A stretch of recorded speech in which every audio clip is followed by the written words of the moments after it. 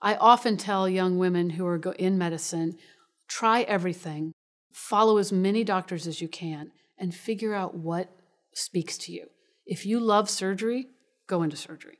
If you don't love surgery and you love internal medicine, go into internal medicine because we think differently.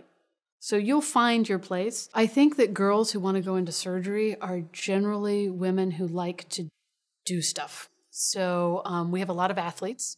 We have a lot of gymnasts, a lot of, uh, you know, technical dancers, um, choreography people, because it's about learning the steps of a procedure and then doing them.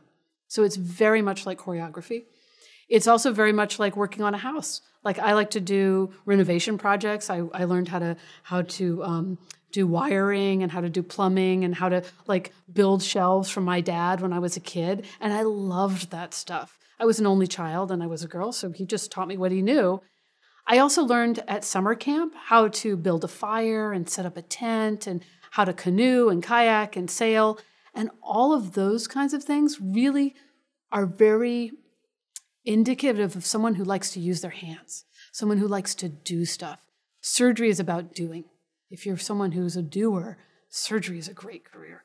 And I think women are better at surgery than men. Actually, it's been shown. Um, they have better outcomes. So, female surgeons are really important. And I think that eventually surgery will be a female dominated field. It's just we have to break in and take over.